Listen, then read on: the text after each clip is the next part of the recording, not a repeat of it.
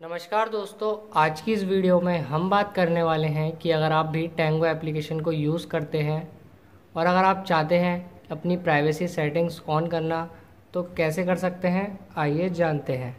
तो सबसे पहले आपको एप्लीकेशन को ओपन कर लेना है।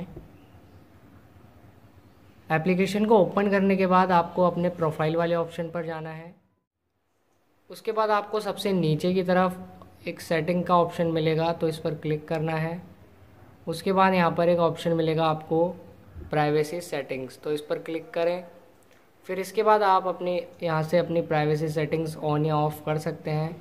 जैसे show up in research show VIP level receive chat request तो यहाँ पर हमने सब ऑन कर रखे हैं तो यहीं से आप इन्हें क्लिक करके ऑफ़ कर सकते हैं।